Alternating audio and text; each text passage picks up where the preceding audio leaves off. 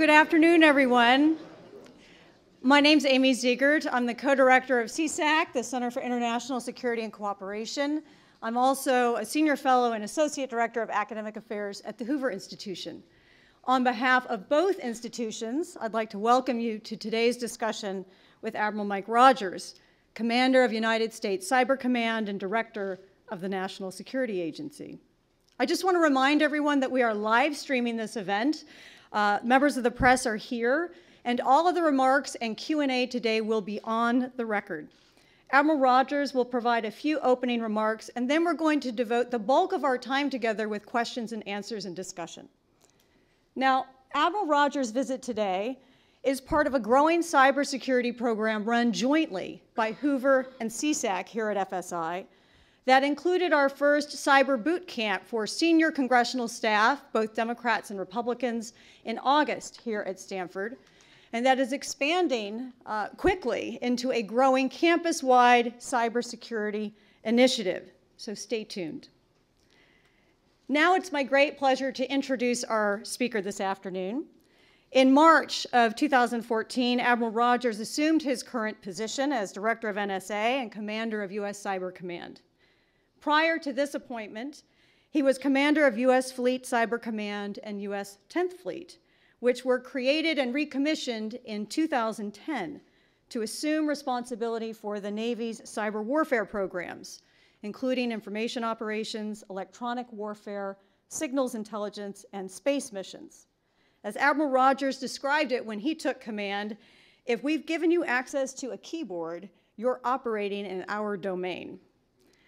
He has also served as Director uh, for Intelligence for both the Joint Staff and U.S. Pacific Command, as Special Assistant to the Chairman of the Joint Chiefs of Staff, as Director of the Chairman's Action Group, one of the most important advisory bodies in the U.S. military.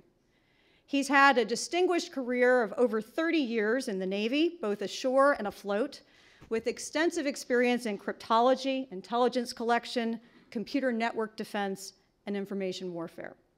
He graduated from Auburn University, receiving his commission from Naval ROTC.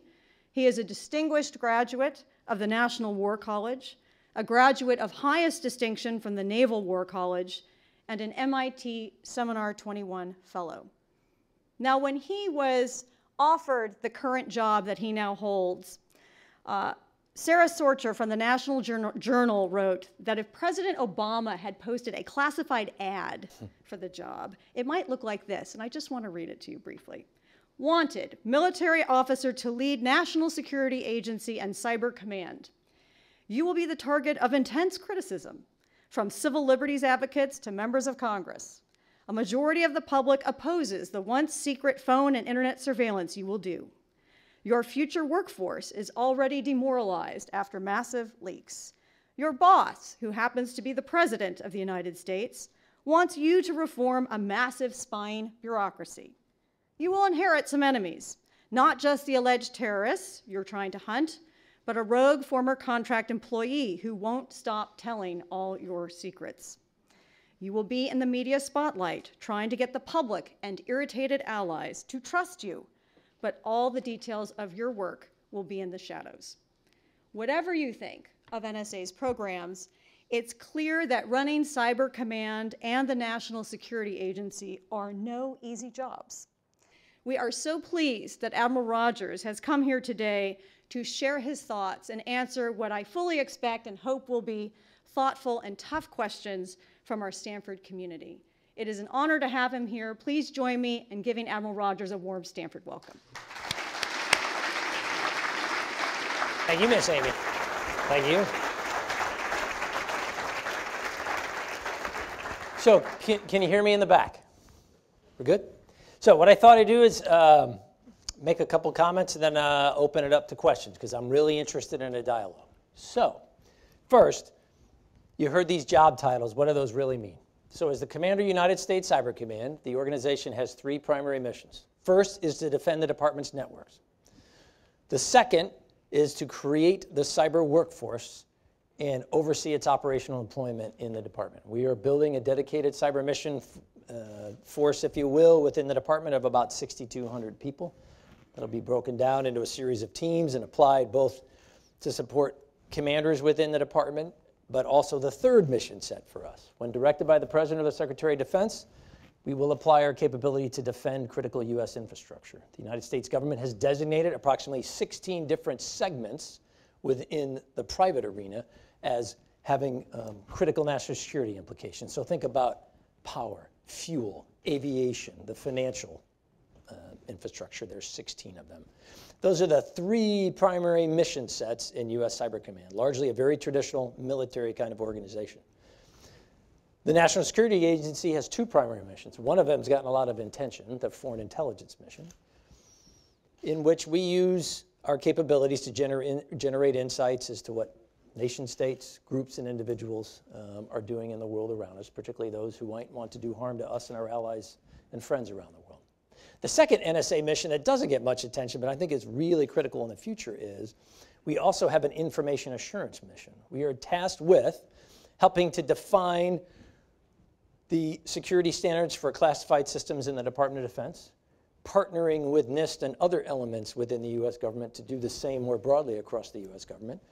And increasingly in the world we're living in, applying our remediation and mitigation capabilities in terms of cyber defense to support um, other elements within the US government and when requested by the Department of Homeland Security or the Federal Bureau of Investigation, we also are now starting to provide that capability to support others outside the government on a case by case basis, normally associated with one of those 16 critical segments. I am generally out in the Valley at least every six months. In the seven months I have been in command, this is the second time I have been here. I generally come out for three reasons. First and foremost, I am interested in a dialogue between the men and women, students, the corporate sector, in this area about what NSA is and is not, and I want to understand the perspective of others. To do that, we've got to have a dialogue with each other. The second reason that I try to come out here twice a year is because, quite frankly, the days when the Department of Defense drove technical innovation for the U.S. are way behind us. You know, the Apollo program and the days that, if you're old enough, I mean, I was a NASA obsessed kid. I could still rattle off everything you want to know about the Apollo Saturn V rocket. I couldn't get enough of it when I was a kid. Um, the days when the US government is going to be the driver for technology, those are fundamentally behind us, I believe. And this area in the valley is a primary driver for technical change within the nation and the broader world around us. And so I want to try to make sure I understand that change. The third thing is we're competing for much of the same workforce. And so one of the things I'm interested in talking to the corporate sector out here is so tell me, how do you recruit? How do you retain? How do you train and educate? How do you build a workforce that remains aligned with the technical requirements of the technical focus that both the private sector and NSA in this area have? Um, and how do you keep your workforce relevant? So I'm always trying to pick the, the private sector's brain about so tell me what works for you, what doesn't work for you. We have fundamentally different models in that regard. For you out here and in the private sector, particularly in the IT arena, turnover is a, a constant. You know, the average person's in a job out here about two and a half years, three years if you're lucky. Very different from our model. Most of our workforce, once they come in the door, tends to stay with us for decades um, because they really love the mission, they love what they do. We're very fortunate. They have a set of skills where, quite frankly, they could be making a whole lot more money on the outside uh, than they do working for us. But we're very blessed with a workforce that really feels strongly about the mission and what we're doing to try to help defend the nation. So that's what the primary uh, aspects of the jobs are. That's why I try to get out here about every six months or so. As I said, it's the second time in seven months that I've been out here and what I try to do when I'm out here. And with that, I'm very interested in on what's your mind because I'm mindful we got less than an hour. So please, I'll be glad to answer any questions on any topics.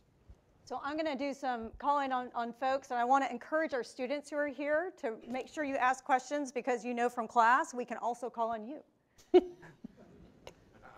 so we got Yes, that going for you. And I'll repeat the question if you can't hear it. Go ahead, sir. extraordinarily oh, thank you extraordinarily close relationship Right. Australia, New Zealand, and uh, which seems the UK, better term, the predominantly white former British. What is it that distinguishes those countries? Like why those countries that we have such a close relationship with and not other countries? Um, I, I would argue because it's a reflection of our history and the close historic nature of our relationship with those five. Every one of those five, we have fought major conflicts with. We have bled together. Not that that are the only five nations, um, but we've got a long history with all five of them. Um, we're united by a um, common language, for example. There's parts of it that are make it a little easier in some ways. But largely it's because of that history. This is not a construct that is just created in the last five or 10 years. Th- This is something we have literally been doing, you know, for half a century. So that's really the reason. Much less nefarious. I mean, I'm sorry, it's just, just not the nature of it. So let me ask that you please identify yourself so we all know who, who you are when you ask your question. Patrick. Hi. Hey, Patrick. Hi. Uh, my name is Patrick Sorenza. I'm an honor student here. I'm writing an honors thesis evaluating the analogy between the development of early nuclear deterrence and the development of cyber deterrence now. um, and so my question to you is, you know, you're in charge Right. of Cyber Command in the NSA. Uh, I'm really interested. What do you think are the biggest challenges to uh, the development of cyber deterrence today? Well, remember, if you go back to the history of, we often have this discussion internally about what's a good analogy for deterrence. Is it the nuclear model? The challenges I see with the nuclear model are a couple of things. Remember, when we generated most of those foundational concepts of deterrence, the nuclear world was controlled totally by the nation state, no individuals, no groups, totally by the nation state, and there were two. But when we first started this initial dialogue, there were two nations, us and the Soviet Union, that had a nuclear capability. I switched to cyber and I go, hmm, cyber's pretty foundational um, in that almost every nation state has some form of capability. And cyber has moved beyond the nation state into groups and individuals. So the idea of using an exact template from the nuclear world, I, I think, is tough. Now, the flip side is, I do not yet know in my own mind what the right answer is. The concern I have is look, right now, if you look at most nation states, groups, and individuals, and the activity they are engaging in in cyber, very broadly, most of them seem to have come to the conclusion that there's little risk of having to pay a price for this in real terms. My concern is that perception that there's limited risk has the potential both to encourage nation states, groups, and individuals to be more aggressive in this area, but also potentially escalatory, and that's not a good thing for us. I would argue for the world writ large, it's not a good thing. So I'm still trying to come to grips with the how you do it, but I'm trying to ask myself, how do we get to a sense of rules, norms, and expected behaviors in this environment? Just as we have every other environment I've ever worked in as a military guy, you knew exactly how far you could push. And you knew exactly, in broad terms, what was going to trigger a response on the other guy's part. I mean, I was always struck by, if you look at the Soviets again, you talk about nuclear deterrence. Even in the midst of two fundamentally different visions, um, even at the times we both had the means to literally incinerate each other, we still were able to create a series of norms and behaviors over time that you knew just how far you could push each other. We knew that tactically, you know, as a, as a naval guy out at the individual unit level on ships, as we were aggressive with each other, you knew exactly how far you could push and when you were stepping over the line, what was escalatory. Um, we haven't been able to do that yet in cyber, and I just think we have got to get there. Otherwise, the trajectory we're on, just look at the activity that you're seeing, pick up a paper, go to your favorite site, you get your news the way you like. Every day we're dealing with this, and it's only going to get worse. Yes, over here. Yep. Admiral uh, Danny Yadron. I cover cyber for the Wall Street. Did you say Danny or Danny? Danny? Yes. Apologize. Um, I cover cyber for the Wall Street Journal. Um, your counterpart uh, today at GCHQ and previously uh, Director Comey at FBI have said U.S. tech companies uh, can get in the way of law enforcement or will with some of the steps they're taking with encryption. Um, I was wondering uh, if you had any thoughts on that. So I think fundamentally we're trying to come to grips with the following issue in some ways. How do we try to strike that balance where there is a means to employ a lawful mechanism to gain insights about the commissioning of what, what um, FBI Director Comey is talking about? And I apologize, I haven't heard from GCHQ today, so I'm, I'm just not smart on that particular aspect. That's of it. because we've been keeping you busy. That's right. Although I spend a lot of time with my GCHQ counterpart.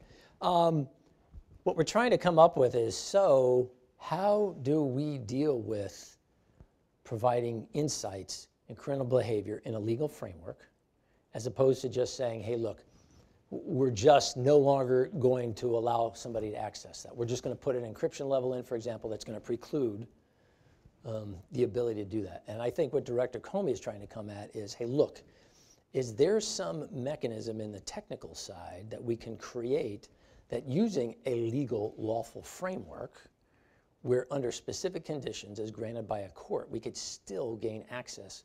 And what he keeps talking about is the criminal piece here. And you'll also hear him, you'll also hear him talk about child pornography pornography exploitation of minors etc that i think is what we're trying to come to grips with. Um, this is a good example of where we just have a fundamental mismatch in some ways between the state of technology and the legal and the, and the policy frameworks we're still trying to deal with. And we're trying to collectively work our way through how are we going to make this work? And how do you try to address those two competing and valid viewpoints? I mean, I'm not one who jumps up and down and says either side is fundamentally wrong. I understand what drives each side to their viewpoint in this. If I could, I'm going to take the, the uh, moderator's prerogative to ask Yes, a follow-up question to that. I know I'm in trouble when you say yes, ma'am. Um, One Yes, of the, one of the things that I've been hearing a lot in the Valley is that industry is very concerned about NSA, or evidence that NSA has been undermining encryption standards. Not just because it's NSA, but if NSA can do it, China can do it. Other nefarious actors can do it. And so the question is that as you look in the future, if NSA were to uh, find uh, a way through encryption standards, how do you weigh what the right thing to do is when it comes to communicating that with American Jack. industry? So I, I make two points. The first, what I tell the team as the new guy is let there be no doubt that a fundamentally strong internet is in the best interest of us as a nation and the world around us. Secondly, in terms of um, how do we strike this balance, the president has been very specific to us. Hey, look, the, the balance I want you to strike will be largely focused on when you find vulnerabilities that we're going to share those. And the greater, I mean, by orders of magnitude, the, the greatest numbers of vulnerabilities we find, we share. But he also talked about, hey, look, there are some instances in which we are not going to do that. And the thought process as we go through this from a policy side, as we make this deliberate decision, the kinds of things we tend to look at are how foundational and widespread is this potential vulnerability? Who tends to use it? Is it something that you, you know you'll generally find in one particular nation state or a particular um, segment, or is this pretty wide across a large swath for the U.S. and for others? How uh, likely do we think others are able to likely to find it? Is this the only way to potentially for us to generate the insights? Is there another alternative here that we could use? Um, those answers then generally shape so what? Do we decide, hey, look, we're, we're going to share this, um, or do we decide not to? Again, by orders of magnitude, the default mechanism for us is we share the vulnerabilities we find. And much of it you will never even hear about. You look at um, in the immediate aftermath of Heartbleed, for example. The first media reporting I, I saw said, hey, NSA knew about this vulnerability and has been exploiting it against the US for an extended period of time. Wrong. This first was outed, if my memory is right, on the 7th of April, first that we were aware of it. On the 8th of April, within 24 hours, using our information assurance mission, we developed a patch, a counter to the malware, and we shared that with the private sector. And what we said was, you don't have to take, you don't have to tell anybody this came from NSA. Just do it because it's part of our mission. It's that information assurance mission. Um, you know, it's just something we generally don't talk about all that much. But it's an interesting internal issue for us. Do we need to talk about it more, that information assurance mission? What? Uh, Whitfield Diffie, cryptographer. It's been too long, Whit, since I saw you. We were just in a session and Whit was there and asked me a question. The only thing among the Snowden revelations that I can say really bothered me, thank you, uh, was the charge that NSA had tampered with NIST security guidance on key production, particularly something called dual elliptic curve uh, randomizer.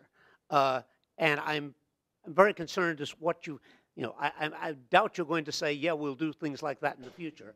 But what, what is being done to guarantee that IAD is not slave to, to the much larger budget of uh, SIGINT?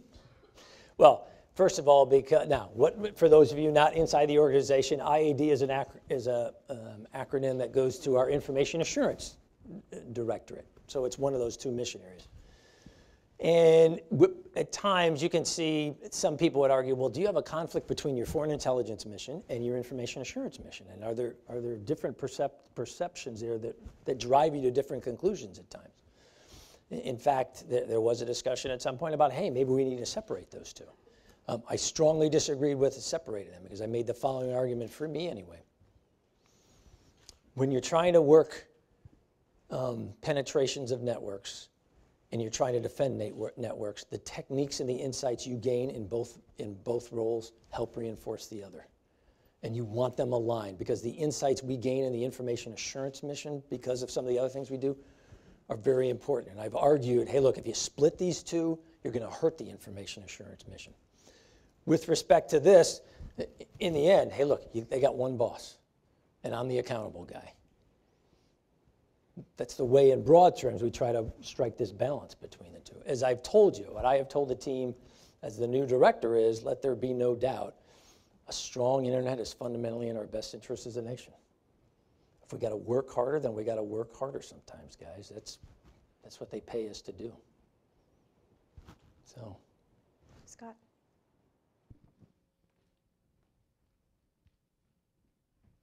Scott Sagan, Hi, Scott. senior fellow here at CISAC and FSI, and pro- professor of political science. Um, the Snowden, back on the Snowden issue, uh, Snowden was widely considered to be the gravest insider threat that we've had in recent years. Could you share with us your views on his motives and how he got away with it, and what you've done to try to, in terms of uh, background checks, security clearances, personnel reliability programs, uh, what you've done to try to make sure that that Jack. doesn't happen again? so I- I'm not going to talk about his motives. That's his business, and he um, will articulate those over time, I assume. I certainly hope he does. Um, the second part of the question really was so tell me what you've done to preclude that happening again. So, a series of technical challenge. It is, there's an interesting challenge there in terms of, I wondered at times as the new guy, uh, were we in no small part the victim of our own cultural ethos, where we tended to trust each other? The, the, one of the biggest, not challenges, but as the new guy that I, I see a workforce that feels almost violated as a result of all this. You know, that one of their own did this. You know, so watching them. Now, trying to strike a balance, because there are some who would argue, um, because at times I'll hear the workforce tell me, hey, look, one individual engaged in a criminal act and you're making the rest of us pay for this. Because I get that at times from some elements of the workforce, which you could understand if the roles were reversed and you were in those, those shoes. And the workforce says, wow, you know, if you're going to start to consider very intrusive security measures, why am I paying a price for that? Hey, I didn't do anything wrong. So what we have tried to do is a couple things. I try to make sure we have a conversation with the workforce in which we walk through what we're doing and why, and why we're trying to strike this balance. I remind the workforce, look, we all raised our hand and we all sign, to include he, we all sign a formal agreement that says, hey, look, we acknowledge the significance of the information we are granted to. We acknowledge and recognize that the compromising of this information potentially would do significant damage to the nation.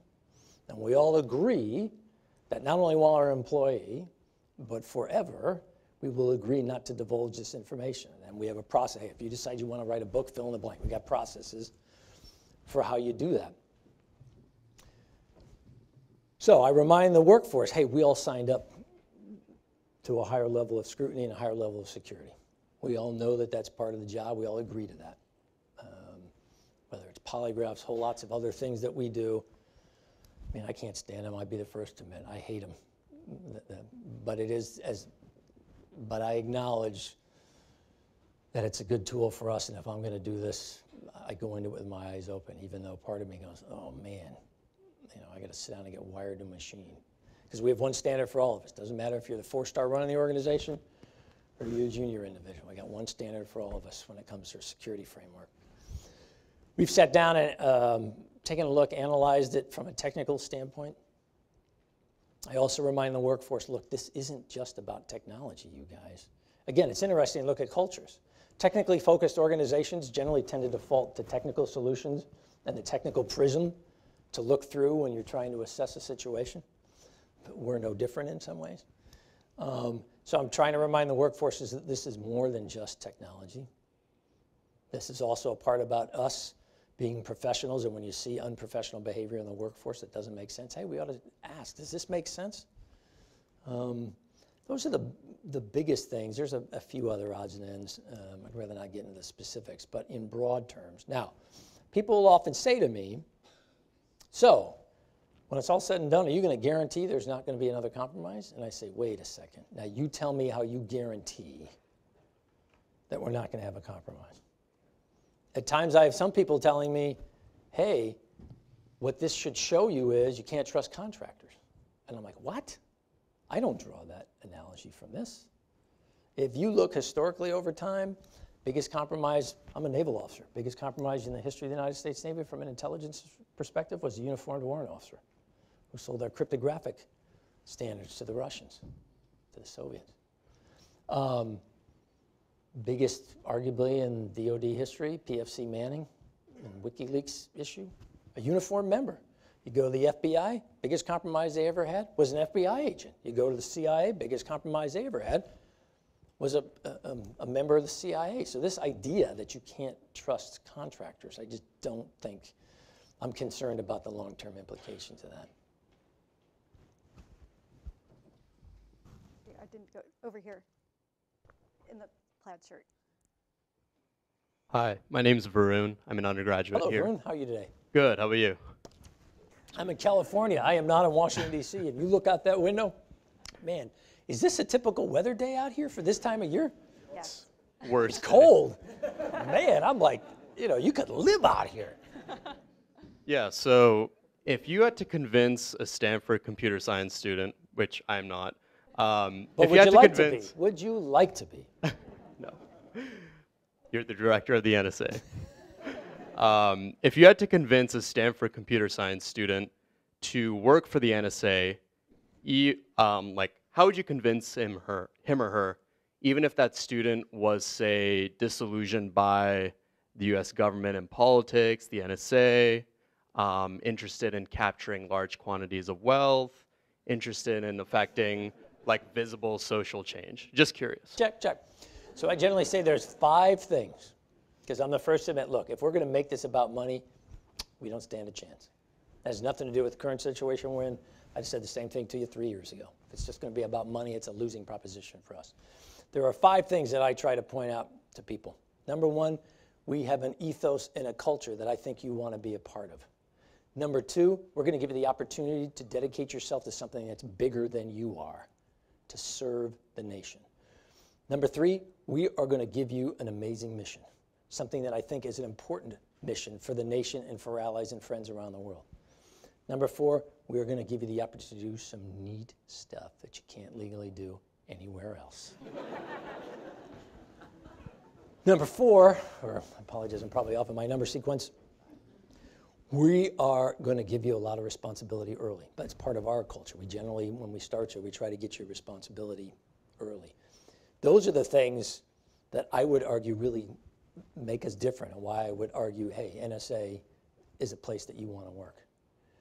As I said, our model is um, the biggest challenge for us is not necessarily retaining people. Not that there aren't some areas, I don't mean to apply some areas where just like everybody else, we got some challenges that we're working through. But as I said, our norm is our, most of our work staff, workforce tends to stay with us for decades. The biggest challenge for us in some ways is more getting people in the door in this environment. So again, it's another reason why I'm standing here before you today, because many, how many of you are computer science backgrounds? All right. Many of you are potential future employees that I want to compete for. Um, again, you got to decide what's right for you, but I'm not going to shrink from the idea that I think NSA is an amazing place to work with an important mission that matters to this country. The four things I always tell the, U- the NSA workforce are remember, when all else fails, use the following four touchstones. We obey the rule of law. Two, we are accountable to the citizens we defend. Three, when we make mistakes, we stand up and say we made a mistake. Because I wish I told you that I work for an organization that's perfect. But for example, when you're entering a you know, nine-digit IP address and you get one digit wrong, it's amazing where you can potentially wind up. Um, and lastly, we don't cut corners. We got one way to do things, and we do things the right way. We stay within law, we use the authority and the policy that's been granted to us, and we don't cut corners. You do that, we're going to be fine. I will take the heat from the outside world. That's what they pay me to do. I need the organization focused on mission, and I need you with your head up and focused on what we're doing because the country and our allies around the world are counting on us. That's important to me to never ever forget we're there for a reason. We'll go to this side of the room. Yes, Duncan. This is a big pocket question in here. You guys got. Duncan Madison. Hey, Duncan. Um, Admiral, you've got a great reputation, by the way, for what you do. Don't say that to my wife. And, and the way, Don't and the you way say you're doing it. But wife. The thing that concerns me is, in reality, what kind of real cooperation are you getting from the heads of the other agencies that failed us so badly at 911? I don't, well, I'll let others agree or disagree with the, the characterization. Duncan, I'm not sure I agree with the characterization, but I have no complaints with the support I am getting. There's approximately, I think now we're using the number 17, there's approximately 17 elements within the U.S. intelligence community. I have no complaints with the support of my 16 teammates. Um, if anything, quite the opposite. In, in fact, I often tell the Director of National Intelligence, Jim Clapper, man, I can go back five, ten years, and uh, not as a director, but as a guy who was at the table in a different job at the time, a little lower level. I, I look at the cooperation, I look at the partnerships that we had then, and I look at the way we have it now. I have great respect for the men and women I partner with, from John Brennan at the CIA to Director Comey at the FBI, um, David Shedd at DIA, Robert Cardillo at NGA. You fill in the blank, Betty Sapiner, you can fill in the blank, the 16 others. We all work very well as a team. I'm very proud to be a teammate with them, and I have no complaints about what they're doing in, in terms of, hey, support to us. Jennifer. I'm Jennifer Granick, the director. Hi, Jennifer. Hi, the director of civil liberties at Stanford Law School's Center for Internet Society. Um, and my question is about the information collection and their relationship with Five Eyes. And what we've seen in the news is that, um, in conjunction with uh, the United Kingdom spy agency, GCHQ in particular, uh, there are collection activities going on. For example, hacking the internal data uh, centers of Google and Yahoo because there's no encryption there, or GCHQ's collection of unencrypted Yahoo video camera chats and capturing stills from that. And then just a couple days ago, we learned from a Privacy International lawsuit that GCHQ has been receiving raw communications data from NSA. Since it's a lawsuit, I assume it's actually an allegation as, a, as It's, a, it's, to a, a it's fact. documents that they received from GCHQ as part of the litigation, ongoing litigation. And so um, the, the, and that then GCHQ's procedures for treating that data don't accord with what they say their procedures are for treating other data that protects the rights of their citizens. So when we see this kind of um, relationship and this closeness and the history and this data sharing, what can you say to Americans who are concerned that countries which don't have rules about targeting Americans or about minimizing Americans' data are then giving that information to our government, and then our government is not having to follow the rules that are so often pointed to as being there to protect our privacy. We don't protect their privacy, they don't protect our privacy, and then we just trade. How can you, what, what's your response to that concern? Check. So I'd make a, a couple points. First, we do not use any foreign partners as a vehicle to overcome or bypass U.S. law. Okay, number one. Number two, when we partner with others, pick anyone in the, in the Five Eyes, for example, Five Eyes was the, the framework that you provided.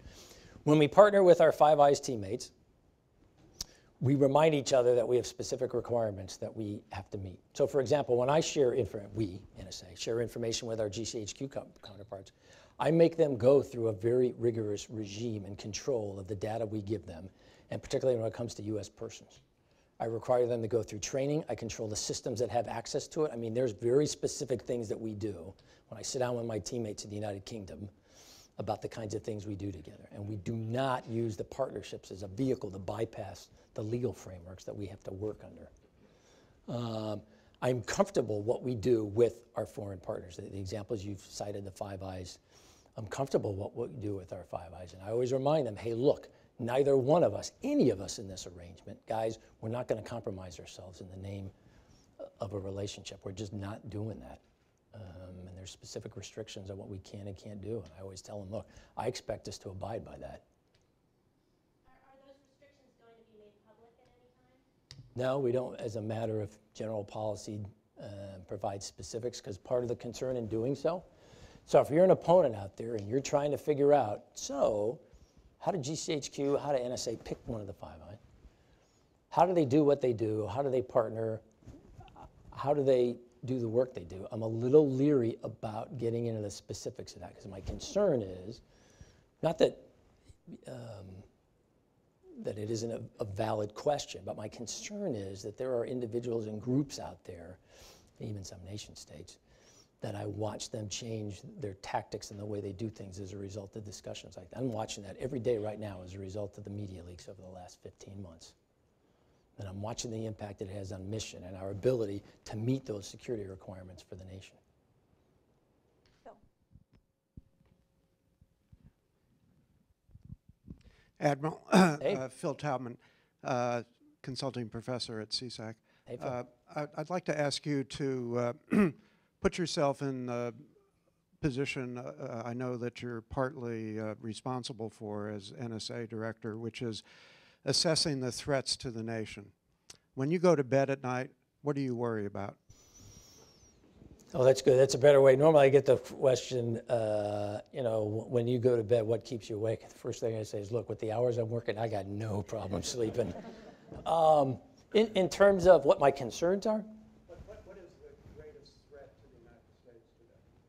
I'm really, oh, I'm really concerned about two things. What, one I would characterize as a near term, and the other, hey, longer term. Near term, you know, you just want to knock wood because I'm thinking to myself, it has been 13 years since we have um, had a major transnational threat be successful in the United States, and it ain't from a lack of effort on the part of many groups around the world today. So I'm always mindful about being how much longer can we keep this string going?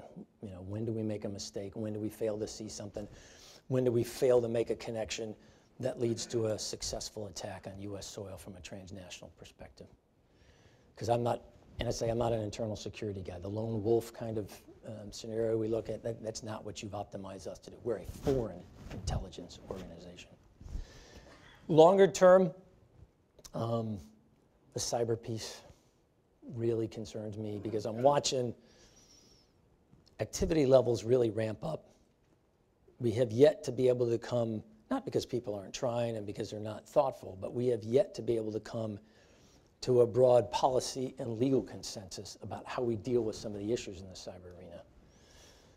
And you know, part of me is going, look, we know we got these issues. Can't we get that consensus um, to deal with this? Is it going to take a crisis to wake us up to say, man, how did we get here? You know, I don't want to be at the end of another 9/11 commission going, so how did we get here? Mm, we know the challenges out there that we got to deal with. But let's face it, it is incredibly challenging in the nation that we are all living in right now to achieve political consensus and the will to deal with hard problems. We are just not having luck as a nation in doing so. That's not a criticism. I'm not trying to throw stones at anybody else. I'm trying to say, look, hey, we got to be realistic and upfront with each other. That is the environment we find ourselves in now. It's an interesting dilemma for us, in some ways, somewhat tangentially related for NSA. Um, again, big fan of history. So you go back and you look at the framework that we use today for compliance and oversight. Really comes out of issues from the late 60s and the 1970s.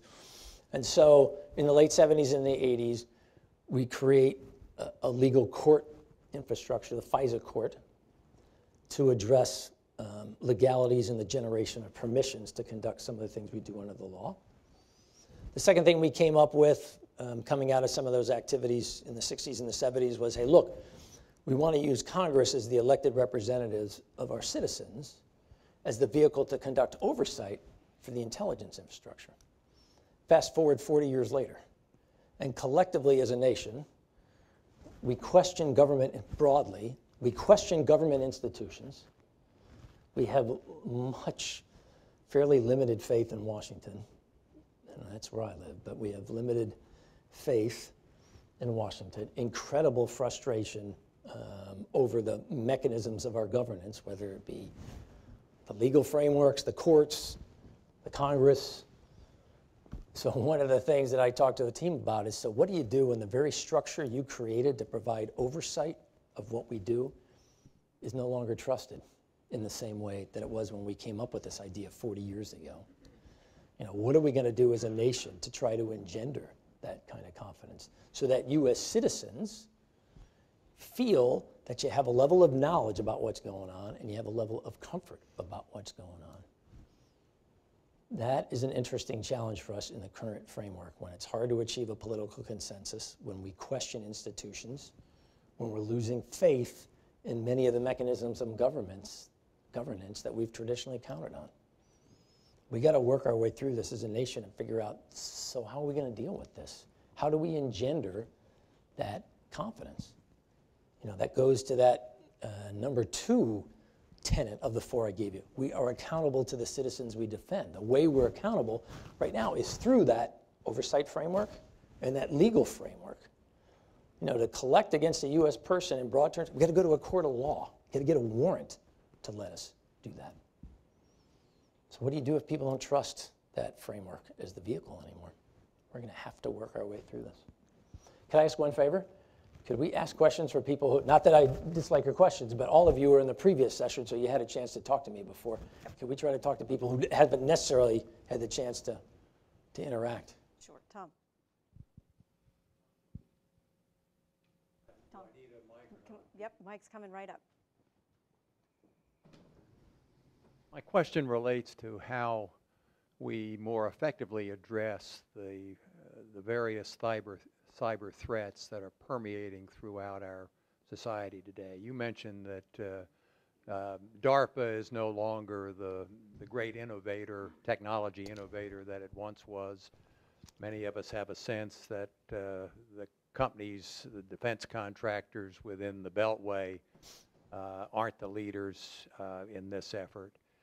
Uh, that so much of the technology is being developed out here today. I've had the opportunity over the last 12 to 18 months to visit with several of the heads of the, of the uh, individual mi uh, military heads of cyber, and I certainly didn't get a feeling uh, that they're spending an enormous amount of time uh, out here.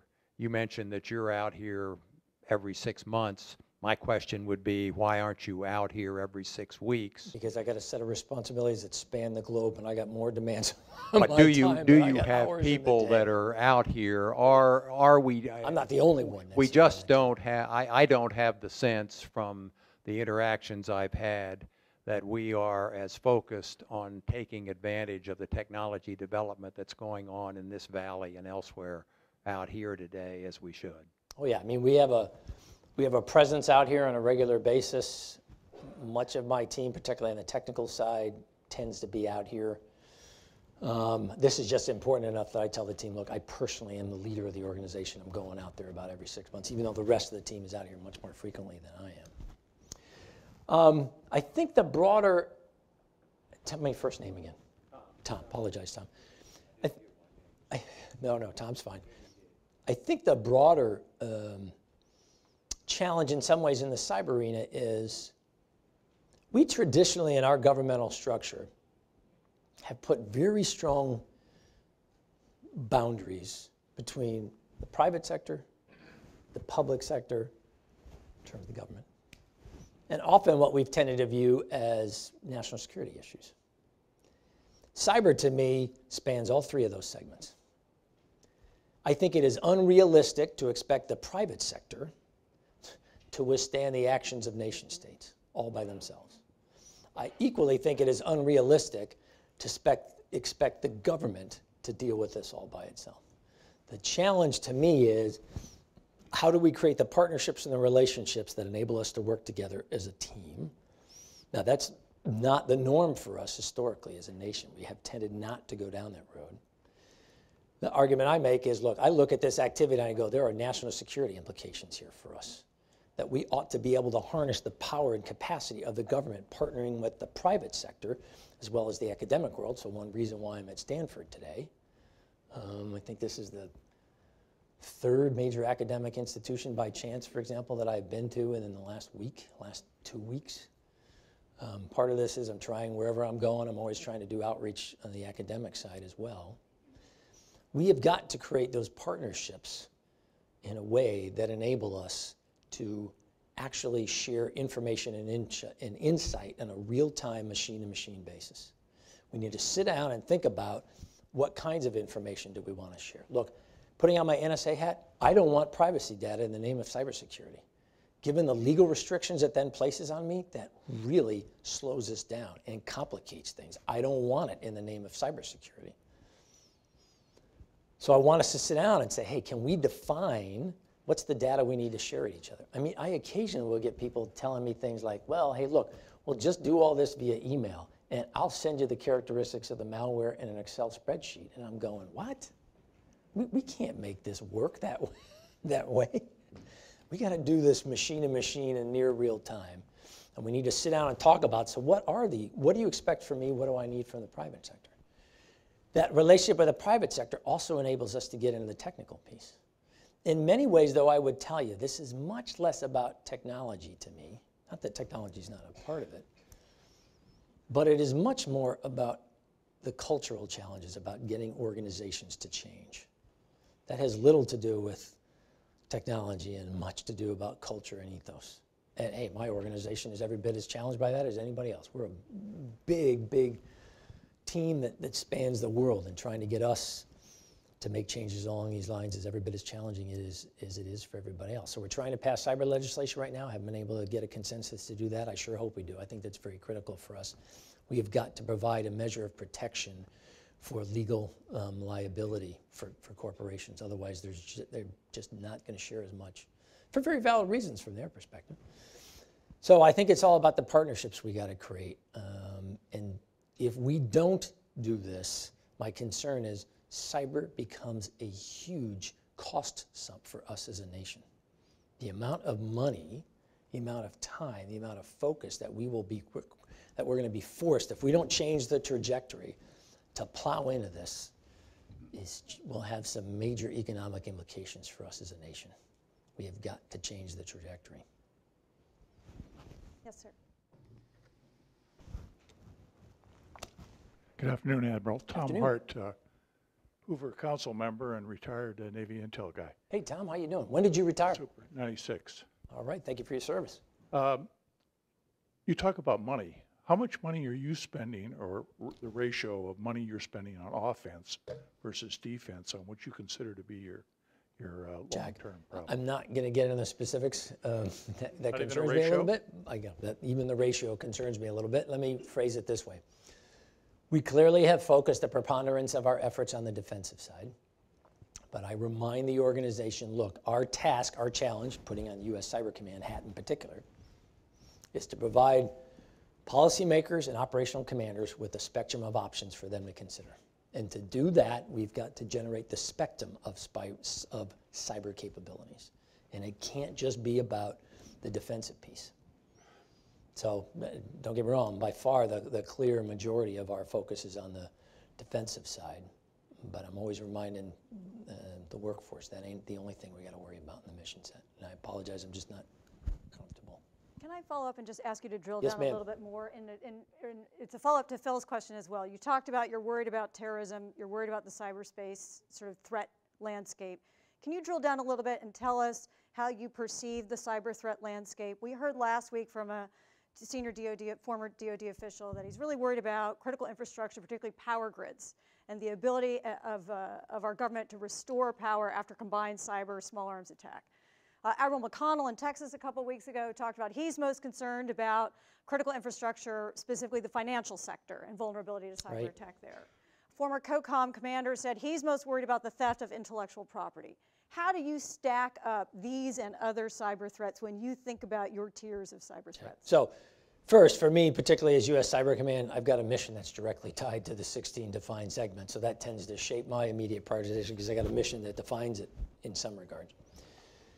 When I look at the, the segments, I, I probably put the financial sector in the top position in the sense that strong corporate buy-in from the senior most leaders in that sector that, hey, look, we got a cyber issue we got to deal with. The ability to apply resources on a scale that hardly any other sector can come close to. If you look at JP Morgan Chase, you heard their CEO um, come out and talk about their baseline computer network defense budget. Their baseline budget is $250 million a year. How many corporate entities out there, how many academic institutions, how many private entities could afford a baseline budget of $250 million? The financial segment, though, strong recognition and willingness to invest resources.